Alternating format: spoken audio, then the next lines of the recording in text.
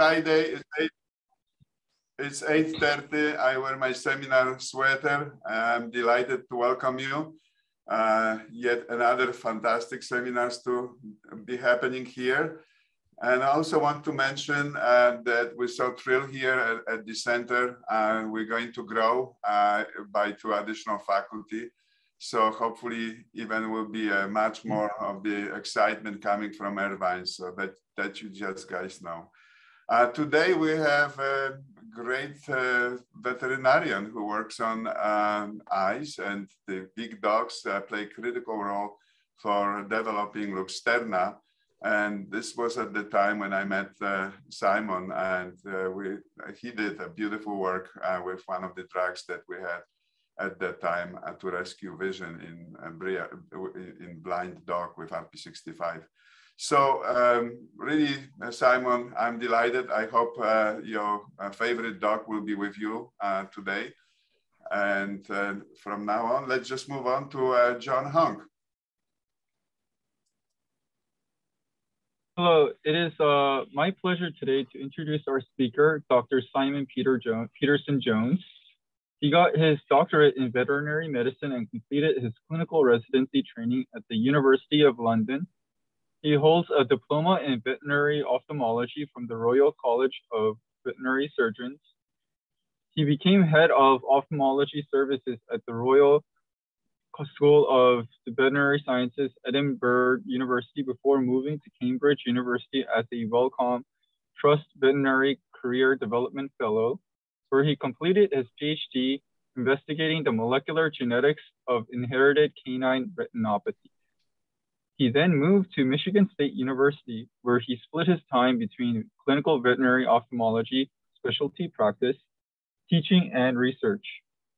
His lab con concentrates on investigation of spontaneously occurring hereditary eye disease in dogs and cats, with emphasis on identification of causal gene mutations and development of genetic testing to allow the conditions to be eradicated from the pet population.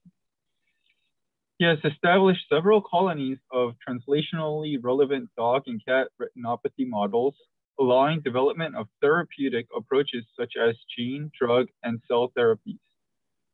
Colonies include those that model Leber congenital amaurosis, RPS65, CRX, AIL, AIPL1, CEP290, retinitis pigmentosa, PD6, CNGB1, and retinopathy and other retinopathies involving RDH5, CABP4. He has since trained three PhD students who have went on to continue their careers contributing to research in veterinary ophthalmology. He has earned numerous grants, multiple R, R24s, 44s, 01s, as well as many foundational university and institutional funding. He serves as a consultant providing clinical and research services to biotech and biomedical companies, including Abbott and Pfizer. He has 121 publications and counting, along with numerous book chapters.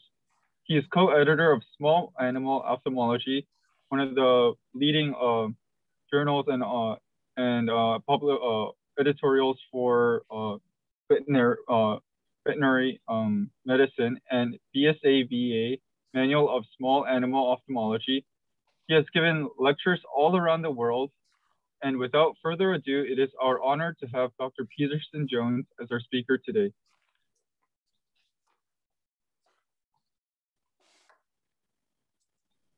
Well, thanks for that uh, very kind introduction. And uh, Chris and Philip, very many thanks for inviting me to this wonderful seminar uh, series. I feel very uh, honored to, uh, to be invited.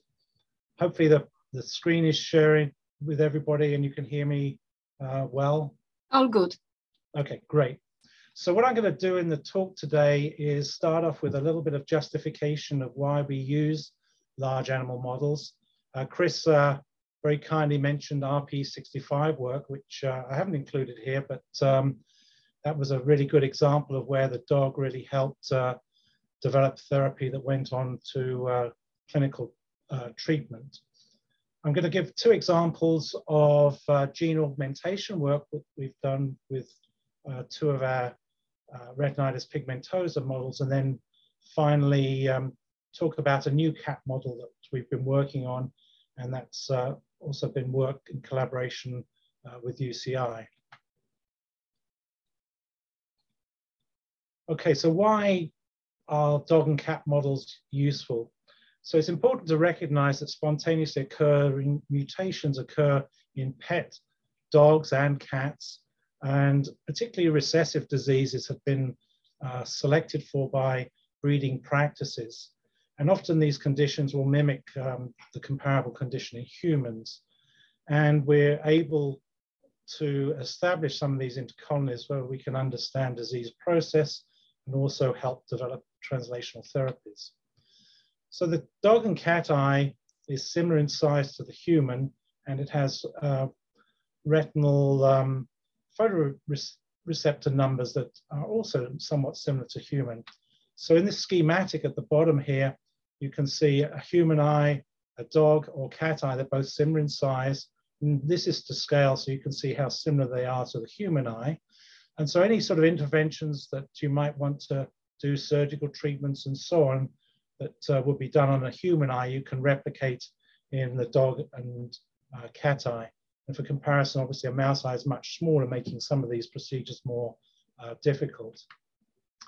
What I think is particularly important is the presence of this high acuity uh, area, which is equivalent to the human uh, macula and is present in both dogs and cats. If we look at this heat map from some studies we did with uh, Freya Merp a while ago, this is looking at cone density in a dog flat mount.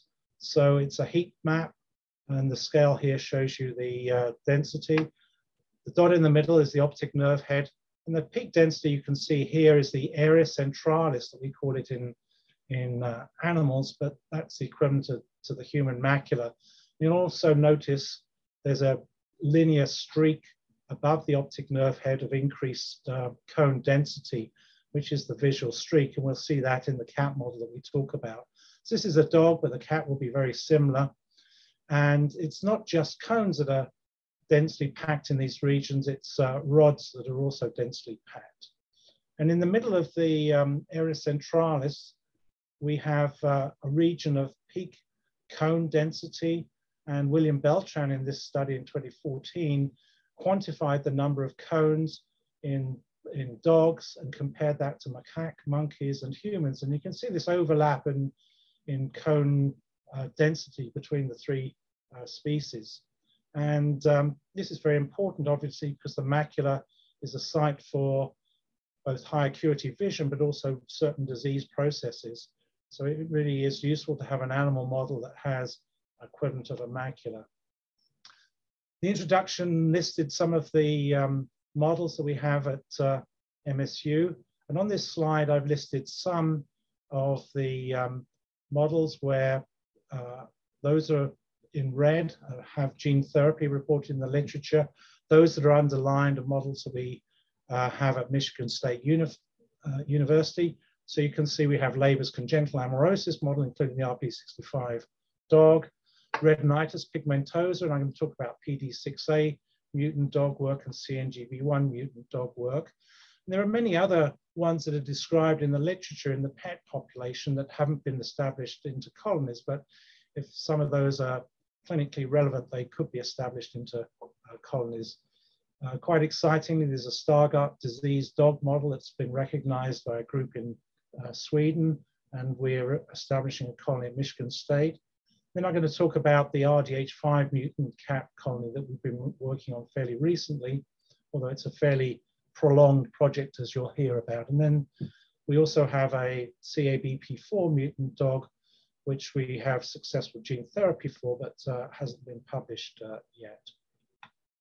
So moving on to the first set of gene therapy results, this is in the CNGB1 um, mutant dog. The breed that we identified the mutation in is the Papillon here. Um, this is an example of the breed. And in humans, um, CNGB1RP is predicted to be the sixth most prevalent recessive IRD by this study from Hannay uh, et al. looking at genome sequence data. And this uh, schematic just reminds us of the position of CNGB1, which is in the rod outer segment plasma membrane, where it's uh, one subunit for the cyclic nucleotide gated channel that is important as the um, end effector of uh, rod phototransduction. And so with phototransduction, the phosphodiesterase will hydrolyze cyclic GMP, leading to closure of this uh, channel. And CNGB is just one subunit. Um, it um, combines with three of the alpha-1 subunits to form the active channel. And this uh, structure was shown uh, recently in this publication in Nature uh, Structural Molecular Biology with the three CNGA1 subunits and this one CNGB1 subunit. And CNGB1's role is um, to modulate the uh, uh, channel and although CNGA1 can form a channel on its own in vitro, um, it's not, uh, doesn't have the normal dynamics of the um, in vivo channel. Some of this work has already been published in uh, JCI. So if we look at the human and dog uh, phenotypes, so it's a typical retinitis pigmentosa with bone spicule formation, constricting visual fields, autofluorescence around uh, the macula marking the degenerating surrounding photoreceptors. And in the dog, this is um, one of our early uh, dogs in the colony. This is the right eye and the left eye and different fundus uh, photographs as the dog aged. And you can notice that dogs have this shiny reflective structure, the tapetum. And this is very valuable for us as veterinary ophthalmologists because we can tell if the retina is thickened above the tapetum or retina is thinned above the tapetum just on the fundus view. The main changes you'll see in this is not only the color change in the tapetum, but the loss of uh, superficial retinal uh, blood vessels.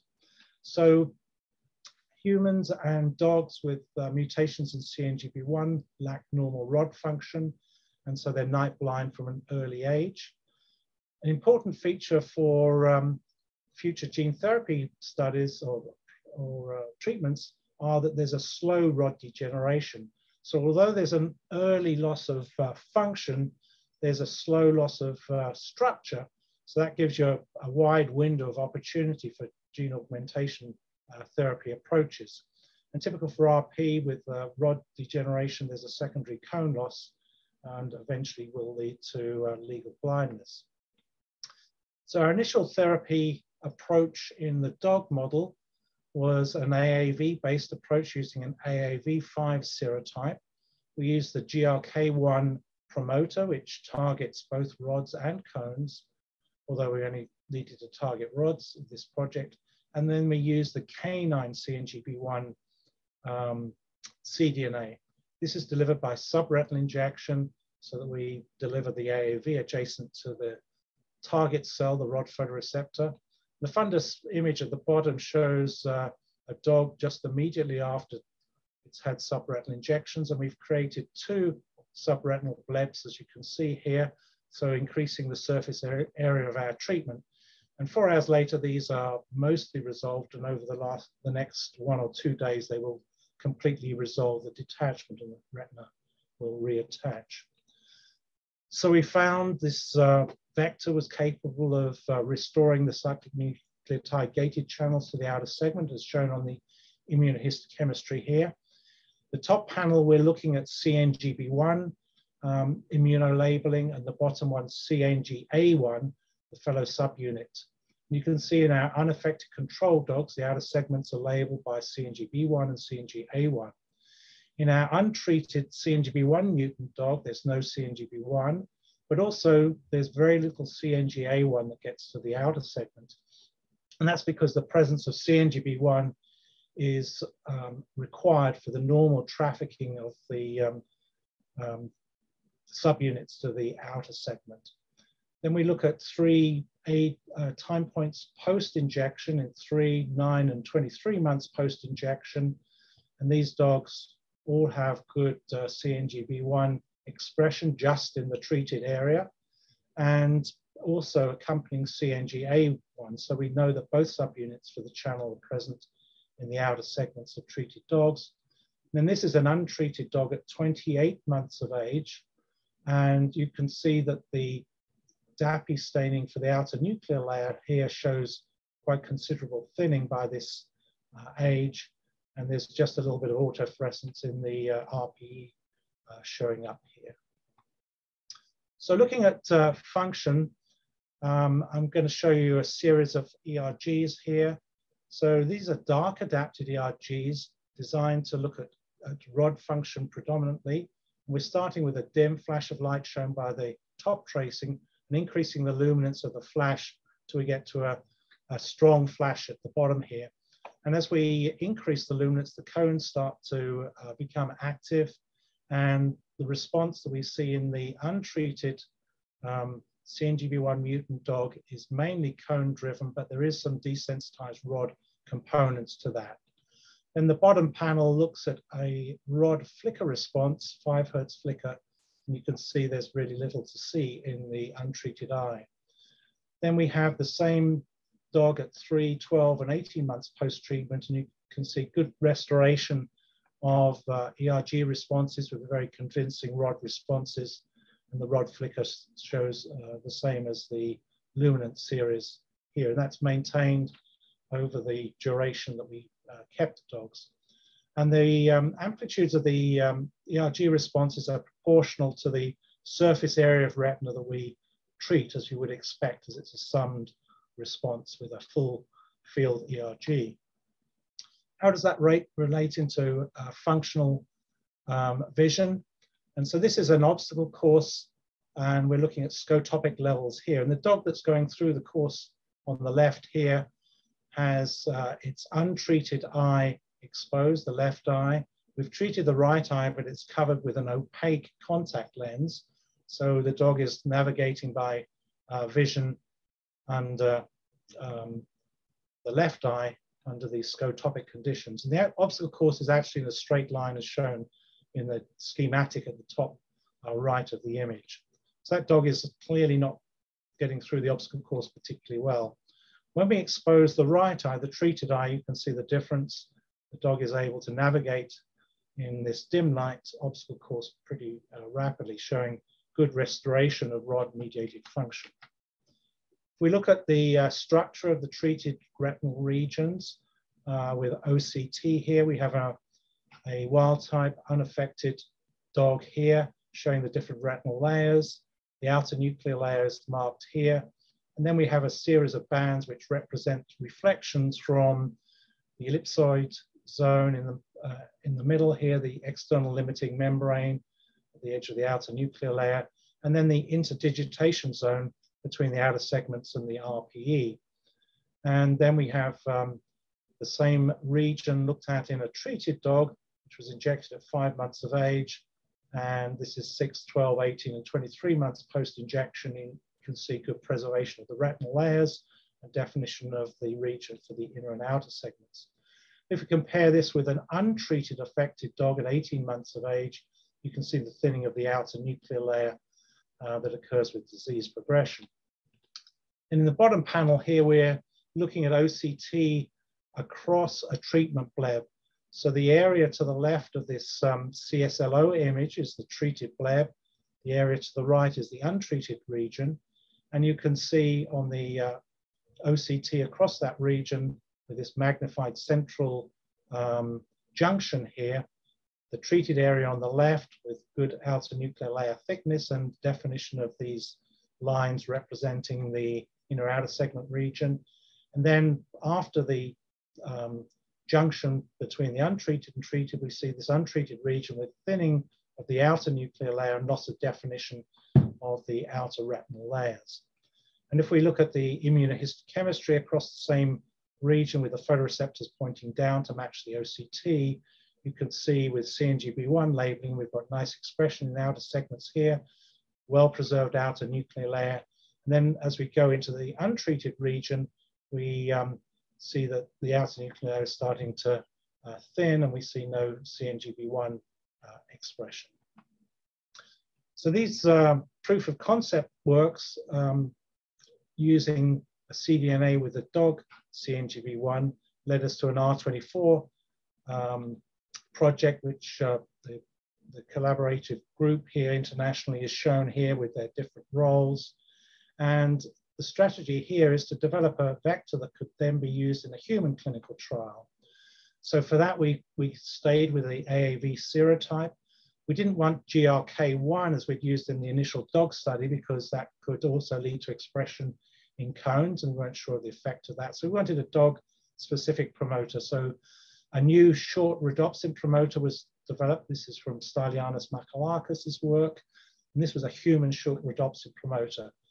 First of all, we looked to see if that would result in GFP expression in um, uh, animal species. And this is from a non-human primate showing a very specific rod-mediated uh, transduction from this uh, promoter.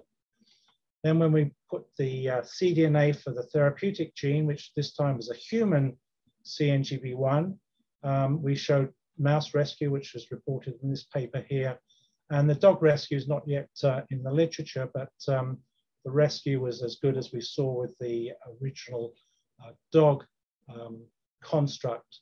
And so the human CNGB one works pretty well in the dog as well uh, as the dog one actually. And so we see the untreated ERGs here, six months post-treatment, and then the rod flicker at the bottom in this uh, scotopic uh, ERG series. So excited to have this uh, hopefully move to a, a, a, clinical trial in the future in the next few years. And part of the um, study on the R24 is detailed patient natural history study. So we have endpoints that can be used for um, the uh, efficacy of a treatment uh, trial. Now I'm going to move breeds of dog to a more rapid disease. This is a PD6A mutation. And the breed that we identified this in was the Cardigan Welsh Corgi. And this work was part of my PhD studies back in Cambridge a long time ago. The current study that I'm going to talk about is um, in conjunction with the RD Cure consortium based in Germany. And one of the aims of that consortium is to um, develop uh, therapy for PD6A RP. And then it's funded by this foundation. So the preliminary work is um, published in this journal, but we've been following out dogs and doing additional studies since then. So a little bit about uh, the background for PD6A uh, RP and dog disease in humans. It accounts for about 3 to 4% of recessive RP. It's a relatively severe phenotype and leads to childhood night blindness. And in the affected um, dogs, we they, they never have uh, functional rods and are night blind from the earliest age that we can test their vision. Humans get the restricted uh, visual fields and progressive to legal blindness, as you'd expect. And in dogs, we have a very rapid rod loss with a secondary cone death, and they're blind by one to two years uh, of age. And this is a fundus image from one of the um, affected dogs with a pretty degenerate retina. So the mutation is here, it's a frame shift mutation, and there's a lack of PD6A expression. And when there's no PD6A, PD6B, the other active subunit is not uh, um, shipped to the outer segment, so we have no phosphodiesterase present, and this leads to a failure in phototransduction, accumulation of cyclic GMP, which the PDA would normally uh, break down, and that's toxic to the cell, leading to this rapid rod and then cone uh, death. So if we look at PD6 activity, this is um, in red, the affected dogs against age compared to control wild type dogs. And you can see um, there's really very little detectable activity. If we look at the rod ERGs, these are a little bit different. They're an illuminant series as I showed before, but we've increased the magnification of the first few um, flashes here so you can see the waveform um, so we have a, a 50 uh, microvolt uh, for this bar here and 100 microvolts here. And for the effector, we've magnified things up. This is 20 microvolts. And the responses that we see here are just cone responses. And the cones uh, have a normal B wave initially, but uh, a slightly truncated A wave because they have shortened outer segments very early in the disease process. But these cones will die and uh, as they're dying, they accumulate uh, cyclic GMP as shown in this immunohistochemistry. So this is the outer nuclear layer, which is very thin at this age. And you can see um, this uh, accumulation of cyclic GMP, which you wouldn't see at all in a, a wild type uh, dog, you wouldn't detect anything. Looking at the histology, uh, control panel on the left, uh, column affected on the right, and already at four weeks of age, which is before or about the time of normal retinal maturation, we've got very stunted outer segments. We've got uh, some um, apoptotic looking nuclei. And as we go through seven and nine weeks, you can see the uh, degeneration of uh, rod nuclei. And the row that's left is predominantly cones. And we have this sort of dilation of the cone in the segments that uh, we see typically with uh, rod loss in a number of uh, diseases. So the gene augmentation um, approach we used, because it's a severe disease, we started treating at four weeks of age. So before there's too much loss of photoreceptors. And you can see at the bottom, this is a subretinal injection occurring in uh, one of our puppies. And the color of the uh, fundus here is that kind of violet color because the tapetum at this age has not yet uh, developed. The construct, we used an AAV8, which is uh, stronger, more rapid uh, turn on. It um, was the uh, therapeutic construct for the RDQ consortium, has a human rhodopsin promoter and the human PD6A, and a couple of other elements to uh, improve the transduction. And so we found that um, if we looked at the ROD ERG four months post injection in the treated eye, we've got nice restoration of rod responses very convincingly and the rod flicker as shown before.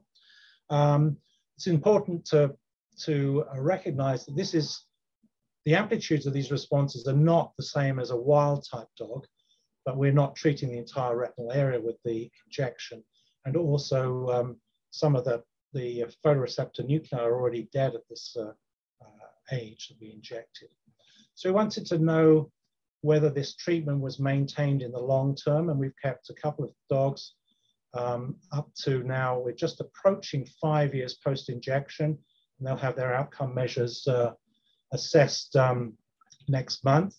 But up to the 48 month time point, we have very good restoration or, or good maintenance of the restored uh, rod function. So we'll just show how this relates to um, vision I'll try to, this uh, video is stalled for some reason or other. But we have uh, the scotopic lighting again, and maybe the dog's gonna go, whoops. You saw the part, first part of the, the video where the dog bumped into something. And if the video will play, you'll see that the dog has a lot of difficulty getting through this obstacle course under rod uh, vision with the untreated eye. Let's hope the treated eye works. And you have to take my word for it, but the dog uh, gets through that obstacle course without bumping into things and a lot more, a lot faster than um, the untreated uh, eye. I'll just try once more, to see if I can get that video to play. Okay. So if we look at the immunohistochemistry in the treated and untreated retinal regions. These are, these are orientated, as you can see, with the photoreceptors pointing up. If we look at PD6A in our treated area, we've got good expression of the human PD6A in the dog uh, outer segments, nothing to detect in the untreated. And in the treated region, we've reversed this accumulation of cyclic GMP that occurs, which is still present in the untreated region. And then if we look at the subunit, for um, the phosphodiesterase, the other active subunit, the beta subunit. That's present in the treated region and not in the untreated region. And then next one down, we're looking at GFAP for upregulation of Muller glia, which is very upregulated in the untreated uh, region as gliosis starts to occur. And um, really, this is the same as you would see in a wild type uh, dog with some labeling of the inner retina. If we look at cones, you can see with uh, PNA lectin looking at the uh, cone sheaths, we've got uh, good morphology of the cones in the treated region, poor in the untreated region, and then the double labeling with uh, a combination of the cone-opsin antibodies uh, is shown beneath. So we've got uh, nice looking rods and nice looking cones in the treated region.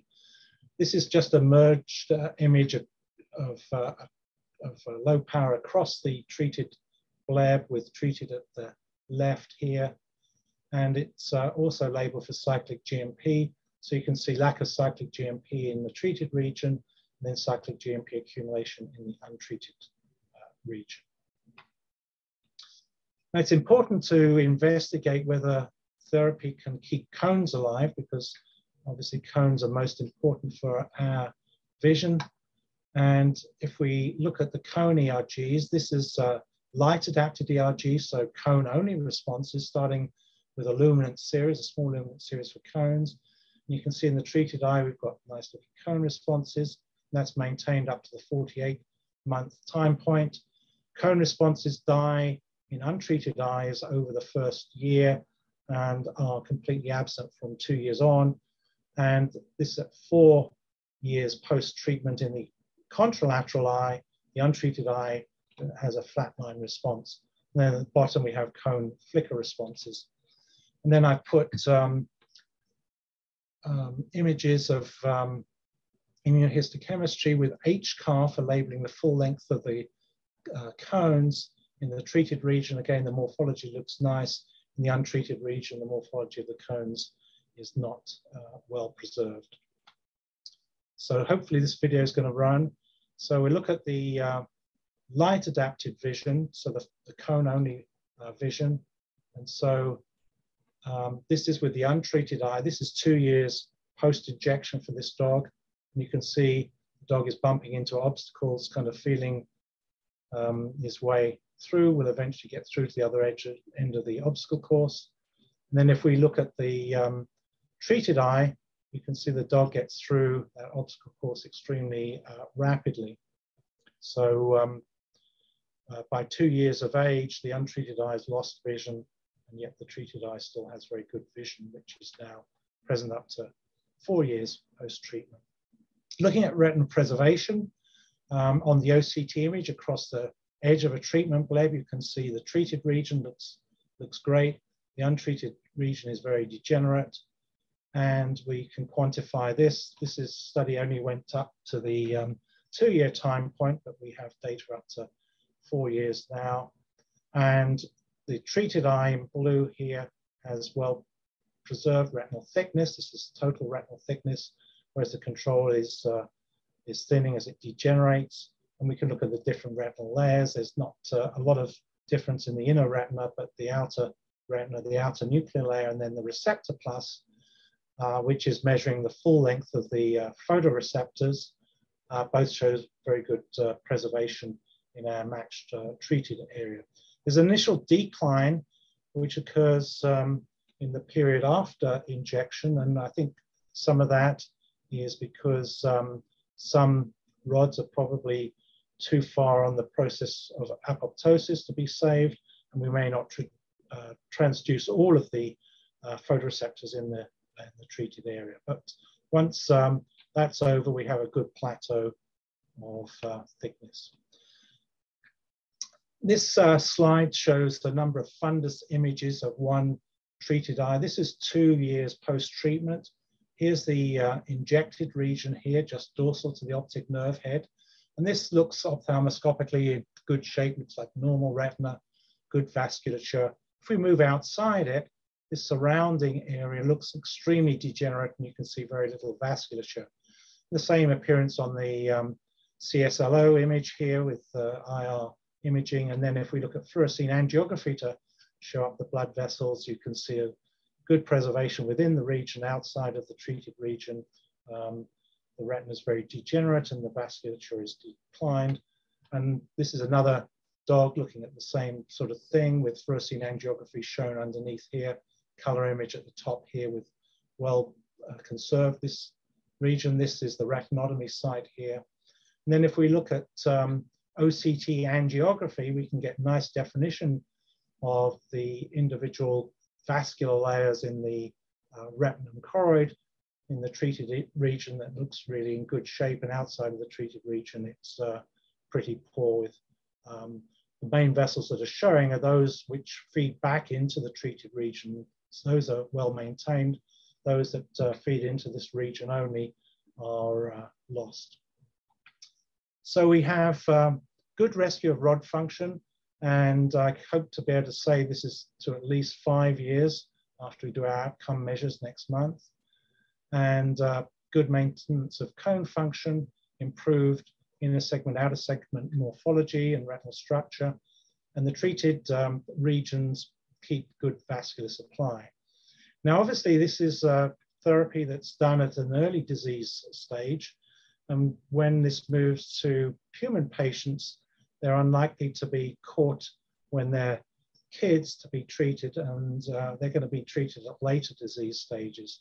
So we're looking at that in the dog at the moment and we um, have identified a demarcation between where we can successfully rescue ERG and uh, function and where um, the retina is too thinned and too degenerate to be able to rescue. So this is going to be important uh, information that we're teasing out at the moment. Um, but uh, one interesting feature is that um, we can have dogs with restored visual function through the obstacle course, um, yet we can't record a, a, rod ERG on them. So there shows that um, you don't need a massive number of functional um, rod photoreceptors to get through an obstacle course um, if you're a dog. I'm going to finish off now talking about our new cat model. Um, this is a, has a mutation in the RDH5 gene, and we um, published the preliminary work on this at the end of um, uh, last year. And this is our founder cat, a cat we called Sheen, and uh, I identified him about uh, 12 years ago, and we've been studying this disease since then, so it's been a fairly long process. Um, the thing that struck me about this cat's retinas are these two fundus images that we can see the right eye and the left eye.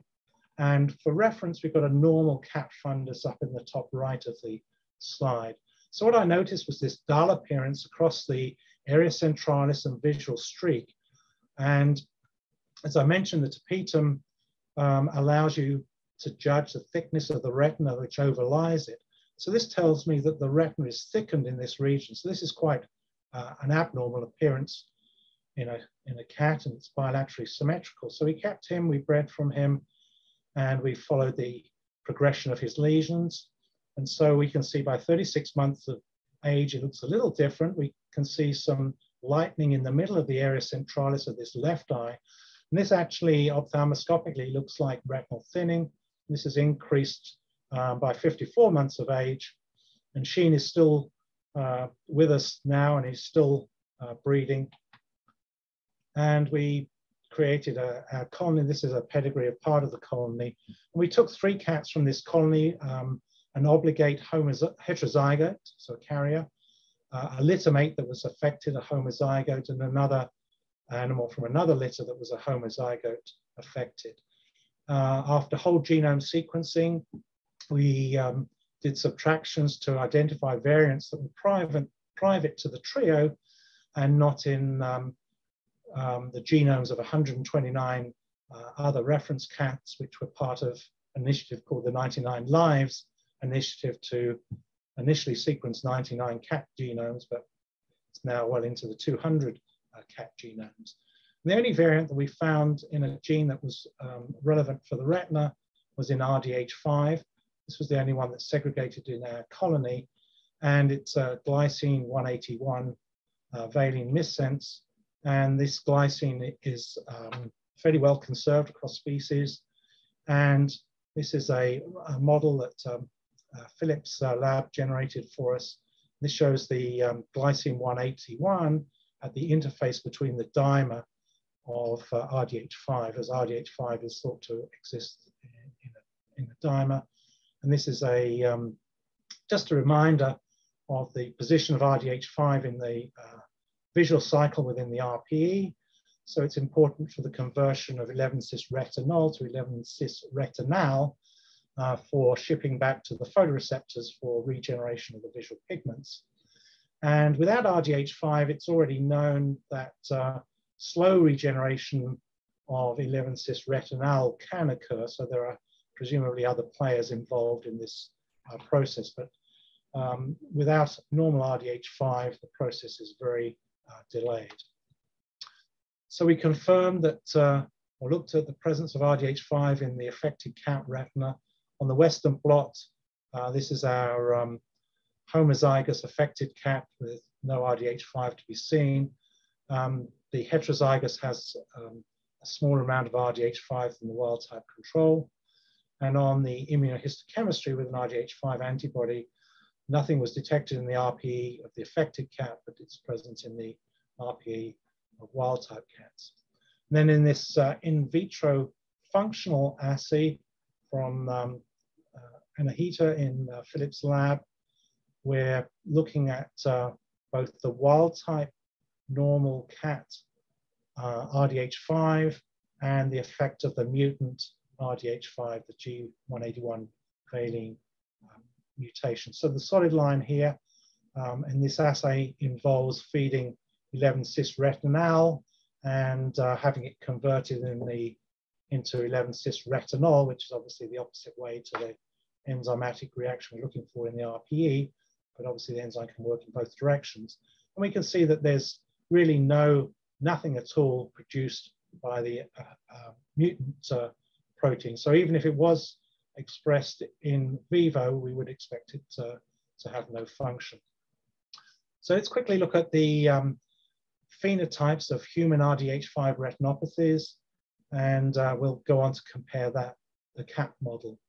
So it, in humans, it results in a congenital night blindness, and the patients will recover rod function with prolonged dark adaptation. There's evidence in many patients of cone dysfunction as well. And some patients will develop a macular degeneration, particularly as they get older. And AO imaging, which is being more widely used in these patients, also shows early cone abnormal, abnormalities before uh, macular abnormalities can be detected grossly. And so in our recent paper, this is one of the human subjects. This is um, from Omar Maru, Mahrou from Moorfields Eye Hospital in London. And this patient's homozygous for this missense mutation. And you can see um, the macula is um, involved in both eyes here. So quite obvious macular degeneration. And in the wide angle um, color fundus images, we, we see the same thing.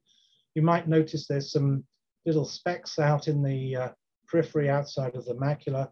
This is shown better in this uh, fundus image um, that I used here. So most of the patients with the RDH5 mutations will develop these white spots, and that uh, has led to the descriptive term fundus albipunctatus uh, for the uh, condition. But not all patients uh, develop it, and it's quite variable. So let's see how the cat shapes up to the, the human. Um, this is a protocol to look at the recovery of dark adaptation, so an ERG protocol. Um, we dark adapted the animal overnight and uh, recorded a rod ERG, and this is um, at the luminance for the ICEV standard for rod ERGs, 0.01 candela seconds per meter squared. You can see we've got a nice looking ERG in the wild type cat.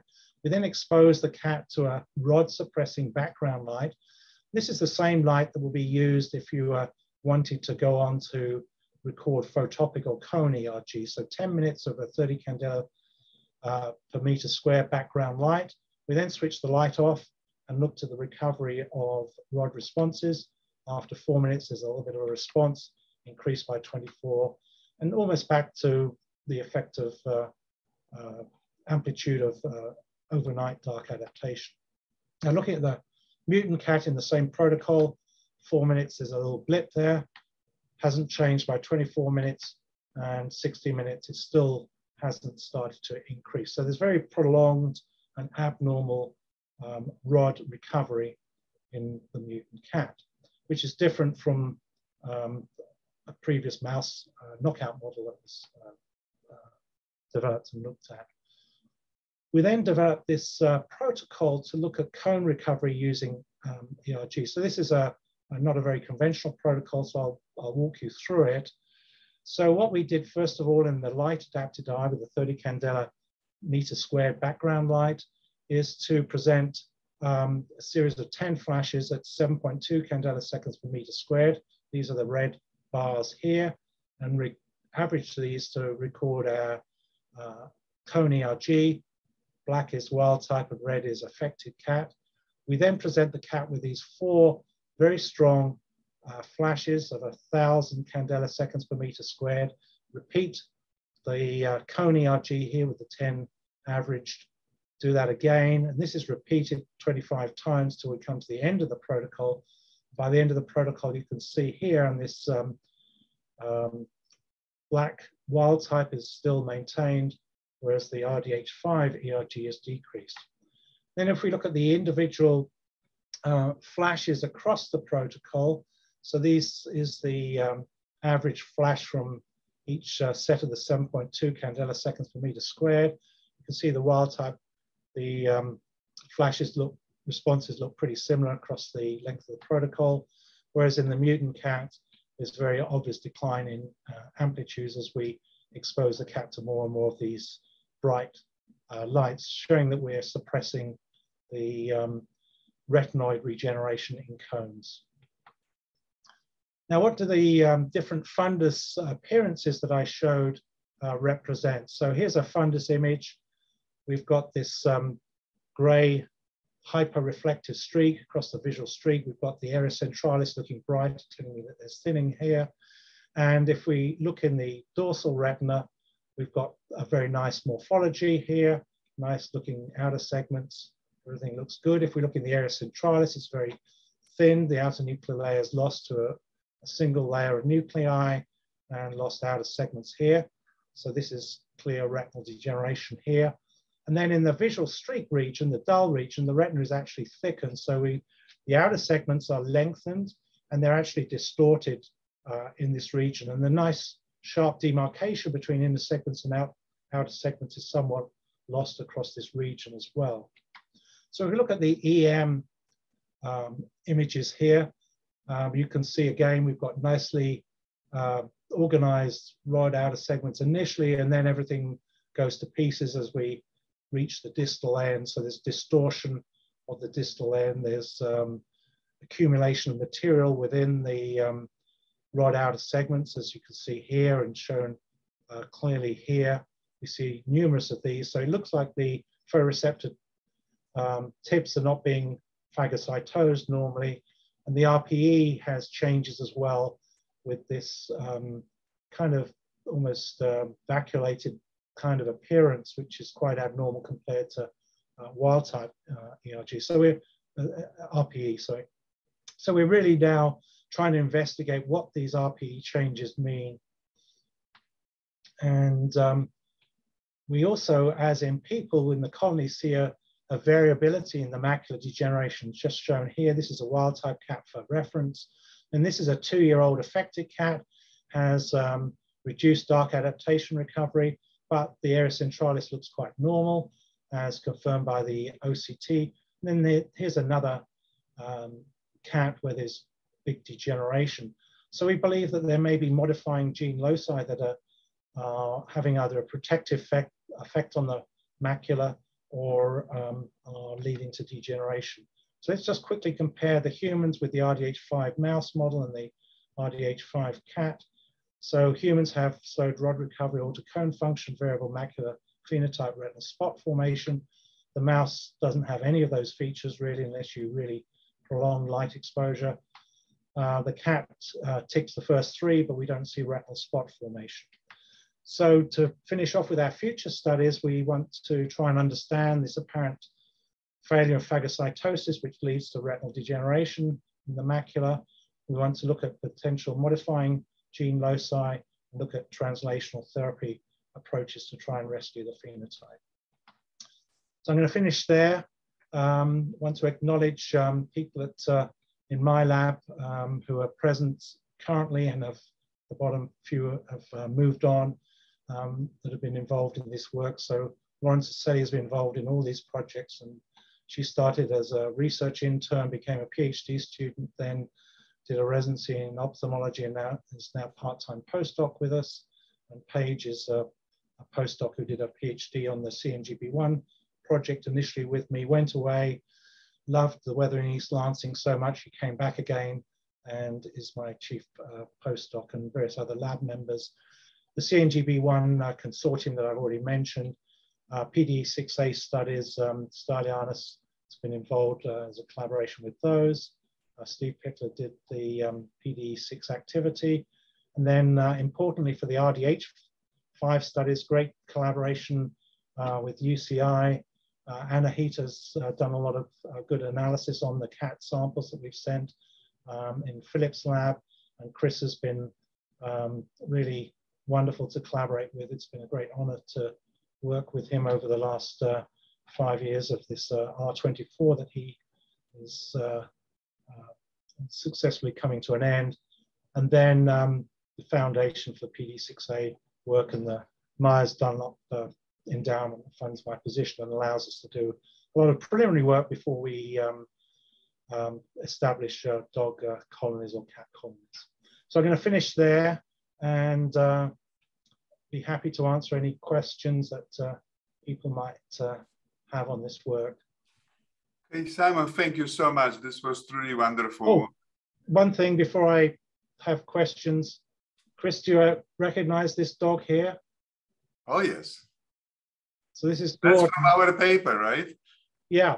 So um, so this is my dog, and every time we had Zoom meetings when we were at home during the pandemic, uh, Gordon would leap onto my lap and be involved in in the um, uh, Zoom conference, and he he struck up a, a very personal relationship with Chris during these times. I won't say any more about that relationship. But what happened to him? He didn't join us the seminars. Is he bored with your talks or something? No, he's at home. I'm in my office at work, and uh, somebody has to work, right? Yeah, unfortunately. Thank you, Simon, so much. If you have any question, please drop me a note uh, through chat, and uh, we will go uh, with question to Simon. Uh, so all open for you guys. I, I, think there is a really a great opportunity, Simon, to work on that using gene editing um, rather than gene augmentation. Uh, are you thinking to pursuing that? Yes, I would really like to um, develop collaborations and uh, look at the particular mutations that we have across the colony animals to see which would be um, most suitable for things like CRISPR editing. Um, I'm very keen to um, to um, pursue that in the future. Yeah. All right, Rafael. Thank you, Dr. Peterson Jones, for the wonderful talk. I really liked it. Uh, it was really fascinating. I have a, I think, technical question because uh, it's really convenient to have a area of treated and untreated retina. But uh, is it possible to cover all the retina when we treat our patient? Thank you for your answer. Um, that's a really good uh, point. Uh, if you look at the RP65 human clinical trials, I think the tendency has been to go to look at retinal areas where there are still existing photoreceptors that could be um, uh, targeted. So I think the only time you would probably really want to aim for the entire retinal area would be if you're treating very early in the disease uh, process. And you can do that at a couple of different ways. You can um, certainly create multiple retinal uh, detachments, but every time you do a retinotomy, you cause a little area of damage, and you may have difficulty getting the retinas to reattach if you if you have too many of these areas. Uh, so that's one approach, and then there's a lot of work uh, being done to develop viral vectors that are penetrating from the vitreous. Um, we've looked at some of these for our own studies and for other people. And in the large animal models, we do see some penetration, but it's not uh, yet to a level that we it would be therapeutic. And also, there's a, a big issue with uh, potential immune responses because um, putting um, vector into the vitreous, you're getting it resorbed or absorbed into the circulation, getting much more of an immune response. And so that's been an issue after we've treated dogs, whereas with the subretinal injection, immune responses, um, I'm sure they are, are present, but they're not uh, um, generally causing an inflammatory action uh, within the retina. So I think um, in the future, we would hope that um, large retinal areas can be treated effectively and uh, safely in, in human patients, but I don't think we're quite to that stage yet. So uh, before we go to Philip's question, really this intravitreal uh, injection is uh, not as sweet as it appears to be at first, right? That, that, that this immune response is a one problem, the other, the uh, penetration. Did you quantify that in any way? Uh, how many cells get infected? yeah, so we have a couple of um, publications um, on that using a number of um, of uh, different um, AAV serotypes, different constructs. And what was quite interesting is its um, good penetration amongst blood vessel, which, is, which has been reported in primates um, as well. But we saw a, a, regional difference in penetration and um, there's much more penetration. I believe it was the um, more nasal retinal regions rather than the temporal retinal regions. And we weren't sure why. We've, we've looked at the um, internal limiting membrane um, and we can't see any particular difference between those retinal regions. But I have noticed in some of the presentations looking at primates that they seem to show the same regional uh, difference, though I'm not sure that people have made a big, big point of that in certainly in the presentations that, that I've seen. So we did quantify it and the numbers, the photoreceptors are that are transduced are, are far fewer than we, we would want uh, therapeutically. And we, we have looked at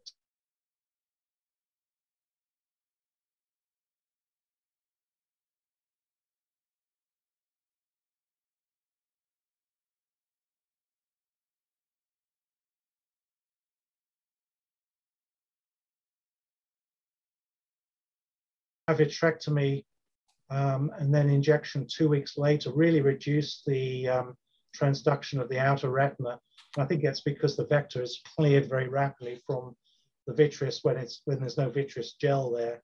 Um, that would be my hypothesis. And that was different from a, a finding from Favin Rohling's group when they injected the vector straight after a vitrectomy. They found increased, increased um, transduction. I think part of that may be some changes to the inner limiting membrane from the vitrectomy as you detach the vitreal face from the uh, face of the retina, you're probably having some mechanical effects. And I suggest, would, imagine that our dogs have recovered from that effect uh, when we injected them a couple of weeks after the vitrectomy. So let me follow on that one more uh, quick uh, comment or question or discussion here. Uh, so um, when you take disease retina, again, Paul Siving shows that uh, it's much better penetration of the virus because you have dropout of the cells in the retina. So this transduction, transfection of, of the cells is much better uh, in this case. There are very few studies that really go into comparison to the wild type. And so the, the reason why this would be important to show in wild type, because you wanted to do it before really any degeneration. So that transduction is not going to be as good as when you're looking at the end of the disease. What are your thoughts on that? Yes, I mean, I think some of it will depend on the disease process that you're you're looking at um, as to the effects on um, on uh, penetration. But certainly, if you if you dreamt up an ideal treatment, um, you would want to treat prior to loss of photoreceptors and by some easy to do route. And so the intravitreal approach certainly would uh, make it a much easier just in the office type uh, procedure rather than needing a, a vitreoretinal surgeon to, um, to treat. So hopefully future studies will um, smooth the way towards that sort of approach. But I think um, from what we've looked at in, in dog studies and what I've seen in the literature, we are a little ways from getting to that optimal position yet. So before we go to Philip, maybe a follow-up question from Corinne. Uh, yes, amazing, amazing results and amazing presentation. My quick question is a follow-up on the immune response. Uh, were you able to resolve it? I mean, if we think risk to advantage of doing a, a vitreal injection versus a subretinal, if we can manage the immune response, uh, is it worth it? And how quickly could we manage it? So for our studies, um, we used um, steroids at a um, immunosuppressive dose to try and control it. And we were not able to control that immune response. And um, we ended up um, finishing the study earlier than we had planned because of um, the amount of inflammation that was present in eyes. It's really quite, um, it can be quite marked. At least it was in our, in our studies. Um, we haven't tried more severe sort of immunosuppression, for example, using um, systemic uh, drugs such as cyclosporine. That might be a, be a route, but again, it wouldn't be optimal to be immunosuppressing the patients to that, that degree that you, you would with, say, transplant uh, patients. So I think um, studies to look at the uh, what's causing the immune response and perhaps modifying, uh, and I know this work is, is, is going on at the moment, but to modify the uh, vector capsids, um, to look at pre-existing exposure to AAVs, all these sort of approaches um, um, are needed, I think, um, right. before we're to that stage that we can uh, safely use it in, in patients. Great, thank you. Sorry, Philip, to keep you waiting. Phil. No problem. Simon, uh, great, great talk, and thanks again for accepting the invitation. So I have kind of, this is probably a pretty naive question about veterinary medicine in general. So have you been able to apply any of these gene therapies to any any of your animal patients and it, i mean is that something that you could do at this point or like do you would would really you require like some regulatory approval in order to use this on a on a general you know person bringing in their dog uh, that has you know this a particular mutation for which you have the gene therapy developed yeah so the main uh, veterinary approach once we identify these genes is to have genetic uh, testing, and obviously you can control um, dog and cat breeding more than you can control human breeding. Um, so we can um, have breeders eradicate these con conditions very rapidly from the gene pool. So that's probably our, our most useful veterinary contribution. Um, when we were doing the RP65 work with Robin Ali, um, we rehomed some of our colony dogs, and I wanted to treat them um, before they were pet, but the uh, company was not uh, willing to allow that. Um, in theory, we would be able to treat the, the, the ones we've been working on most recently, CNGB1 and um, PD6A. Once we found the CNGB1 mutation, we had a pretty um, intensive uh, screening uh, session, which we then, um, um, so we, we, we rarely, if ever, see a CNGB1 affected uh, uh, dog now. And PD6A, we've known the mutation for 22 years. And so um, that's been bred out of the uh, out of the corgi population as well. So theoretically, we could get approval to use the vector if it's um, one that we have as a, a, research or which is, is up to, for dogs, has to be up to clinical grade um, as long as it wasn't produced by a company. Um, there are various steps that we have, would have to go through for informed consent. But what I'm really hoping for with the, with the approach is that we have a vector that is really efficient at targeting dogs' photoreceptors, and then there's a more generic treatment that comes up that could be used across all sorts of retinal degenerations or photoreceptor degenerations in, in, in dogs. And then there would be a market uh, um, in our hospital to, to, to treat uh, dog patients as well. All right, uh, we had a wonderful uh, conversation. Before we go to Don Zach, final comments and questions, we will go to Vladimir. Thank you, Simon. Great to see you, and thank you for the beautiful talk. Uh, Good to see you too. uh, quick question: uh, Do you have any thoughts of the difference in phenotype between the RDH5 uh, mice and cats? Um, well, the only thoughts that I have is that the cat's a good model, the mouse is a lousy model. Uh, but I'm I'm kind of biased, uh, I would guess. Really? Um, but I, you know, I really don't know the reason the species for, for these species uh, uh, differences. I just assume that whatever is regenerating 11 cis retinal uh, slowly can do it more rapidly. That's not RDH5 can do it more rapidly in the mouse than than uh, in the cat and and, and human. Um, but I think that's a really interesting uh, thing to find out. And hopefully with future studies using the, the cats and comparing with the mice, it might be something that we can, uh, can investigate and, uh, and, and solve. I don't know if you have any um, well, Are the enzymes similar in, in uh, maybe Philip can chime in on that. Are the enzymes, the cat and, and mouse enzymes similar in efficiency and structure? I mean, I, the only thing I'll say about this, I mean, this is Chris's work, is you know that the RDH activity in mice in general tends to be much more robust compared to a lot of other species for whatever reason. So I don't know if they just have some, you know, enzymatic redundancy, better enzymatic redundancy, so that you can have other like RDH10, for example, taking the place of RDH5 but uh, yeah, that's pretty well established from other from from Akiko Maeda and, and Chris's work on different RDHs. It's very robust in mice compared to other species. All right, let's go to our favorite Don Zach and the only one. Actually, I'm not the only one. There is another Don Zach in Baltimore. We've had mail uh, interchange by mistake, but uh, and he plays bagpipes. So, but I haven't met him yet. But he's not um, as beautiful as you are. Well, some people might disagree, Chris. But anyway, uh, hi Simon. As everyone said, it was a great talk. So thanks so much.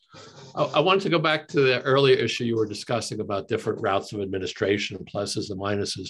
Ha have you guys tried suprachoroidal? And if so, what has your experience been with that? Um, we have not tried the suprachoroidal. Uh, I have my doubts about it. I, I've seen a number of um, papers where that route has been attempted in rodents, and uh, on them you see a little area of subretinal detachment. So I'm not sure how much remains in the suprachoroidal space. One thing I will say is occasionally in our uh, injections, which are transvitreal, transretinal, if you push the cannula a little too hard, you inject into the choroidal um, and perhaps suprachoroidal uh, region. And when you do that, you see a, a flash of change of color of the tapetum as the vector distributes very rapidly. And um, none of those animals, unless we've also got a subretinal bleb, have we seen any uh, functional rescue in. So I know that's not a, a direct assessment of suprachoroidal injection, mm-hmm. and that seems to be a, a fairly in vogue uh, route to be investigating.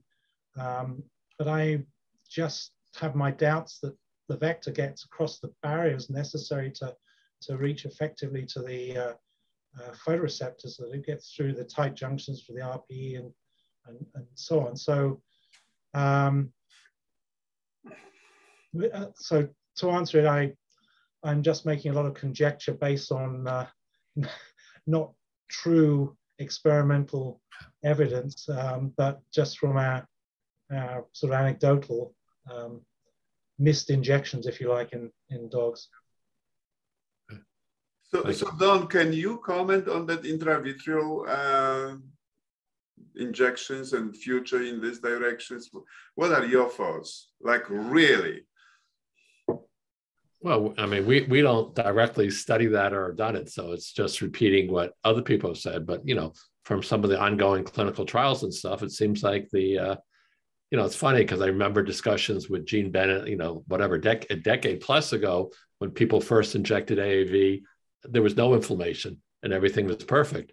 And now, the more you look, the more you see. So I, I, I share the concerns, but I don't have any, you know, additional insights to offer. I, I think some of the new uh, serotypes and modifications and uh, directed evolution will hopefully find um, viruses that are less toxic. All right. Thank you very much, everybody, and primarily to Simon for spending time with us. And it's a wonderful work done. If uh, if you, Simon, could stay a little bit and, and also Sam do. Thanks for the invitation, Chris. It's been a real honor to be involved. Bye-bye. Another quick question, Simon. What's the availability of these dogs to like research facilities or somebody who would like to do some more with that? Um, so we are always open for, for collaborations, actively encouraging collaborations. I mean, my philosophy for the, uh, you know, the large animals, they're very expensive and, and, and valuable and the numbers that you can produce are obviously nothing like you could do with mice. So I'd be particularly keen that there's not as the initial investigation, uh, unless the model's unique, but uh, would be where there's really good uh, evidence of that approach in other other species or or other other ways. Um, so um, yeah, I'm I'm very keen to to discuss sort of future collaborations and projects with people. All right. Thank you. Sorry, my phone is ringing here. Sounds good. All right, so Simon, uh, maybe we should take a look on the sequences of the point mutations that you have in some of your colonies and, and that those that you have active whether they will be amenable to uh, gene editing by uh, base editors? Yeah, that would be great. Um, what I can do is I, I can put together um, a list of the different uh, mutations and genes. We will need a DNA sequence around the point of mutations. Yeah. So Sam, um, Sam, where are you, Sam? I don't see you, buddy. Hello, I'm here. Yeah, maybe some is worth to take a look and, and stay in contact with Simon. Sure, sounds good. Yeah, uh, we're currently working on different delivery modalities for base editors. Um, and I think that doing some large animal models could be really valuable in doing some of these uh, pilot and proof of concept studies. And the second question, Simon, I have um, I don't know whether it would be possible, but uh, maybe uh, on the level of sperm, uh, the progenitor sperm of the dog, uh, that this modification could be done for gene editing. I don't see see why not. I mean, um... are you familiar with uh, how to culture uh, sperms and then they can be re-injected and all of those things? No, but um, you know the, the technique for um, uh, AI is well established in in dogs. We use that in the in the colony. We you know collecting semen samples and um, knowing the um, substances to keep them in is is well established. It's we we don't here go beyond um, we we freeze semen. Um, for um, keeping colony going in the long term. Um, so that's all is all established, and um, insemination of artificial of frozen semen works well. We've we've imported semen from Europe, frozen, and established uh, breeding animals from that. So that's part of it's fine. But what I'm not sure about is, so we can keep keep semen alive, but I really don't know about culturing for longer term that you might need for for this sort of work. So maybe um, you, you wanted to take a look into that, Simon, because that would be a phenomenal approach. Yeah. So um, what I'd need to know is how long would you would we ship semen chilled, uh, or would we do the the editing here um, on the fresh semen, and how long they need to be incubated and I think maybe day or two, that should be enough. And, and what's the proportion of, of sperm that you can edit? Well, that depends on the delivery system that needs to be tested and perhaps by uh, sequencing that if we can get a you know high um, fraction of editing, because of course you don't want it to breed them uh, when you have one percent, right? That that yeah. is going to happen, but I think that um, the chances of going to the, that uh, could be as high as 90%. Look at our very recent cell paper. Okay. Just published a week ago. I, I can spell you my last name so you can find it. I've almost learned how to spell it. Almost. Uh, is that good enough? Almost? Well, it's a question of how many Z's and W's and. Oh, you just throw them randomly. Why not you just uh, think about this a bit more and maybe you wanted to change what is not, uh, check what is known and, and look at that paper by, uh, by this non-viral delivery. Uh, yeah, we have a, a local dog reproduction specialist I can ask about his experiences of culturing and so on. So um, although I don't have that expertise, I can obviously find that out. Yeah. Issue. So Sam, Sam will contact you, Simon. I will put you together by email. Uh, let, us keep this conversation going. Okay, that'd be great. But if it comes to the grant riding, you this time, you you this time invite me. Right. Is that fair? okay. All right. Goodbye, everybody.